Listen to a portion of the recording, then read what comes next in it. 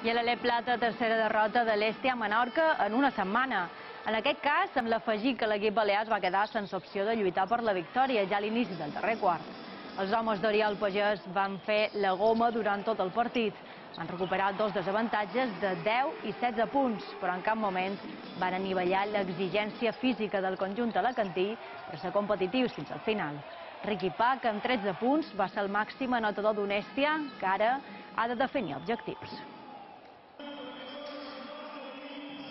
Tres partits a la setmana ens costen, tenim jugadors veterans, jugadors que han de combinar el bàsquet amb feina i, i a sobre ens hem enfrontat a un rival, segurament el rival més físic de la categoria.